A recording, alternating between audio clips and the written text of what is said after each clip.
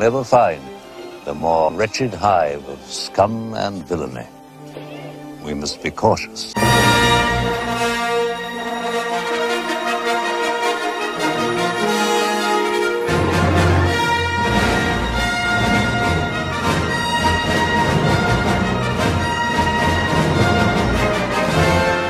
Hey guys, it's Stephanie. Welcome back to the uh, Cantina. Remember to tip the Wookiee bartenders 20%. No droids, no bounty hunters, no Reylos, no Rey Nobodies, no Disney Star Wars fans of any kind. Yes, that's how we run the bar. Those are the rules. You don't like them. And remember to like, subscribe, and share. And give out to Dimajanai. Uh, he's got a great channel. Go over and check him out. And uh, Abu Nas, Stephen Walton, Stephen Walton, author, guys. Anyway, having a conversation with a friend about The Force Awakens. And I haven't come back to see what I said about it before. God, back in 2016. Maybe even, yeah, 2016. But I remember saying it took me a year to admit that that movie was a bad movie. Okay. They took with JJ and, you know, Larry Kasdan's just a joke, by the way. He is, you, and you now understand why he was so successful writing Raiders. It's because he had Spielberg on one shoulder, Lucas on the other, staring at him like this. Okay? He had to, he had to do, he basically had to produce what they thought was good. And then, of course, input from Harrison. Uh, but his overview of the story uh, was so bad. You took a galaxy that was infinite, huge, with all these stories you could tell, and shrank it to this big. All right? I have a problem with that. Because Lucas's vision was always ever expanding. And Lucas's ideas were ever to make things bigger, to build on a legacy, characters' legacies. I mean, they, they, they, I mean, they didn't even come up with a history of the galaxy, the timeline, as it were. You have Sith and Jedi for millennia going on. Darth Revan, Darth Bane, Darth Malgus. Just to name a few. Darth Nihilus.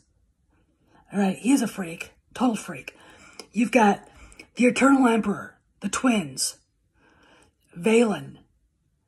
Okay, all of this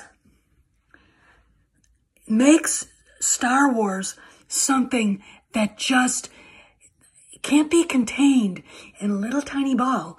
But that's what they did with The Force Awakens. They did not build on the legacy of the original characters. Uh, you know, let me ask you a question. I've asked this before, but I want you guys to comment on it. Are you the same person you were 20 years ago? Are you, you the same person you were five years ago? Are you the same person you were five minutes ago? No. These movies, these awful, awful movies, like this piece of shit and this piece of shit defy storytelling. The Force Awakens is a mediocrity copy, a very poor copy, I might add, of A New Hope. Because in A New Hope, you see new things, and the galaxy is big. It's not tiny. The galaxy is huge. I mean, one of the things that absolutely, absolutely just, now when I think about it, just pisses me off is when Starkiller Base fires its weapon and they're on Takodana and can see it. They can see it. Daylight, there it is. Do you understand how big this galaxy is? Okay? Do you get it? No, of course not. This is the problem uh, of of the Force Awakens in one way. You you they they took the galaxy and turned it into something mundane, something we've all seen before, something that isn't mysterious, something that isn't beckoning you to learn more. Okay, they shrank it to this big. Then we find out Starkiller Base is actually the Jedi sacred planet of Ilum, where all the crystals were, the kyber crystals. You know, that I just found out, and that really pissed me off. That really just set my fuck you, Pablo, fuck you. Anyway, um, you know, but then we have the story itself. First off, Rey Nobody is a borehole. She's a blank slate that never ever, even now, is filled. Even after the rise of Skywalker. I mean, think about this. We, I mean, that is the daughter of a runaway Palpatine clone. Did anybody expect that? In this? No. Do they, now do you see how stupid this is? Now do you understand? She never trains. She never, excuse me, goes through any hardships of the kind that this guy did. The kind that Han did, kind that Leia did. The, the, the torments that Rey goes, goes through are so like, okay. I mean, that, that was to, that was me going, okay. So we got Rey, and we got the most under, the, the most underachieving character in all Star Wars, Finn. All right. Finn could have been your hero. Finn could have been your, and I think might have actually at the beginning could have, should have been the focus. Okay. Um, I do know a little bit of a backstory. Before, uh,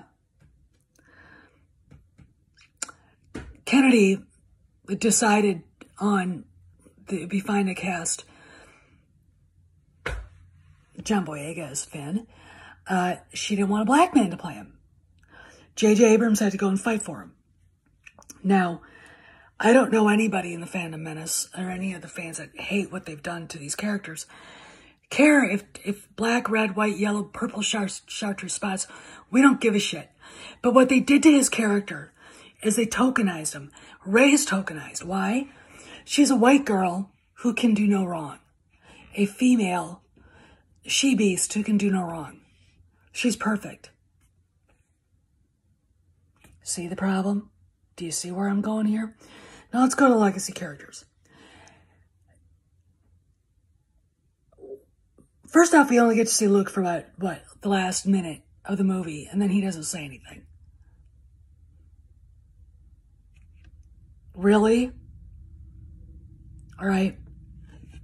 Han has reverted back, done a 180 degree character reversal, because instead of actually making the movie about what happened to the big three, the trio, they decide we're going to make the movie about these two nonsensical assholes and just kill off as quickly as possible in an inglorious fashion the, the, the, the, trio and, or ruin them to the point where anything that made them attractive characters and heroic is taken away from them, and then we'll kill him, which is what they did to Han.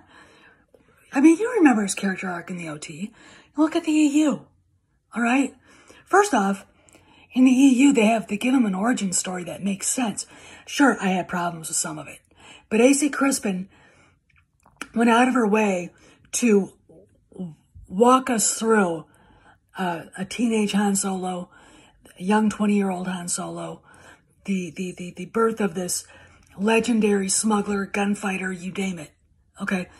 We got a sense of who he was. You know, When I think of the origin story of Han Solo, I think of him on Corellia, sitting on a hilltop, looking up at the looking up at the stars, wishing he could be anywhere but where he was, and a little boy talking uh, to Imperial fighter pilots that happen to be stationed there, asking about their their what they do, their ships, and being so enamored of this dream he had, which is who he was. Okay, so we get there, everything gets tipped over, but he ends up getting to where he wanted to go. This is a man who pulled, pulled himself up by the bootstraps. They took all of that away. They took all of that away. And it is staggering to me the loss for the audience of, of not knowing that character. Because when they came out with Solo, it didn't, I mean, it was a, it was, it was, it was just the birth of a cuck. You know, the, the, the, what a terrible story. You know, and maybe Harrison wasn't interested in the backstory, but I, as a, if I was making those movies, the, Force Awakens, I would have been damn well sure he would have been aware of what all of that was before we even started talking about a script. And the reason why is this. You give the actor all of the information they need. Okay? Because you're going to see Harrison play Han Solo, but in a much more mature, grown-up way. And the script probably would have been vastly different. Probably would have been more interesting. Because he understands now who that kid was, who the man was that sat down at the bar, at the at the booth in in uh, Mos Eisley, in the cantina. He would have understood who that was, and then you watch him walk through the character arc that he had in the OT. Okay, you know, you would have liked this more, and it would have probably, if not definitely, saved his character. The same thing with Leia. In the EU, all right, first off, when we meet her in the OT, she's already a hero. She's already attained her, her hero's journey, but it just gets bigger for her. Her journey is that of, of, of, of adulthood into being a grown up woman. Okay. And that to me is every bit of, as interesting as the guy's hero's journey, okay? Han's hero's journey is inter intertwined with hers. You can't untwine them, okay? She's connected in some ways to a character named Bria Tharen, who is Han Solo's girlfriend, the first love, uh, that he saved from uh, who was an addict, a slave. He saved her. And she she left him and then he discovered her again and they kind of rekindle the romance, but in the end, she screws him over. Okay. Because she, she becomes uh, a member of the Rebel Alliance and she's very dedicated to it. And at the end of Rebel Dawn, uh, she basically says, why don't you come and, and, and be part of the, the alliance? And this is after the alliance leadership basically says, no, take everything that, that, uh, you guys got from the, uh, the priests. And, uh, because we need all of it, there's a big, there's a big, uh, uh, there's a big mission coming up. And the mission is the Death Star. Okay. Han says to her, if I see you again, I'll shoot you myself. Okay. That's Han Solo. That's the Han Solo we first met. What happens to him when he meets Leia is extremely, it, it, it's good because Leia starts, even if she doesn't know she's doing it, she starts chip away at the armor he's got around himself to protect himself.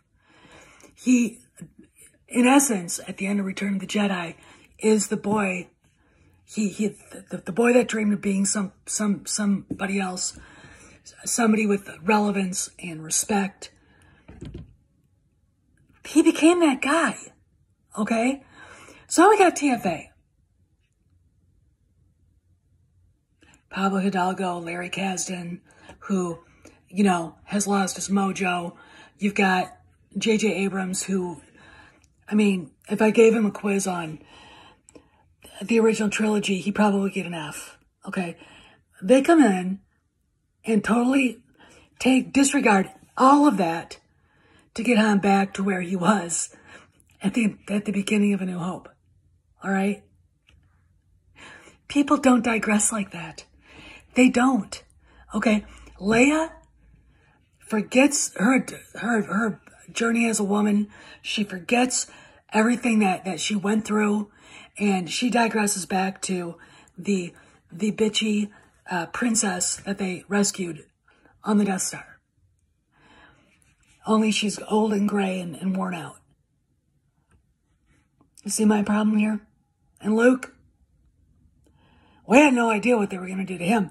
But I guarantee you guys who are Luke fans, Precious Luke, what they did to him was the forerunner of what they were going to do to him.